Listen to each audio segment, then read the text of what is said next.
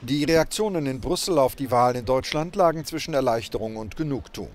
Die proeuropäischen Parteien der politischen Mitte werden auch in den nächsten vier Jahren die Politik in Deutschland dominieren. Keine offizielle Erklärung der EU-Kommission, doch Vizepräsident Franz Timmermans gratulierte seinem sozialdemokratischen Parteifreund Olaf Scholz zu einem starken Ergebnis. David Sassoli, der sozialistische Präsident des Europäischen Parlaments, tat das Gleiche und rief zu einer sozialen und grünen Erneuerung auf. Doch dafür braucht es die Unterstützung der wirtschaftsliberalen FDP.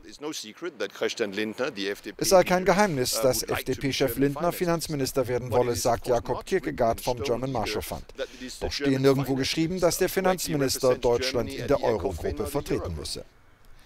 Schon vor den Wahlen hatten die Liberalen verkündet, was mit ihnen nicht zu machen sei. Höhere Steuern und Verschuldung.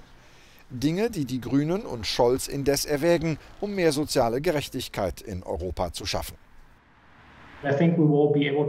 Eine von Olaf Scholz geführte Regierung werde gegenüber Emmanuel Macron offener sein, wenn es um soziale Reformen und eine Reform des europäischen Projekts gehe, so Raphael Loss vom European Council on Foreign Relations.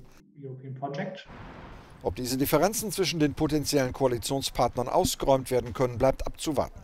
Analysten halten eine künftige Ampel in Berlin immer noch für die wahrscheinlichste neue Regierung.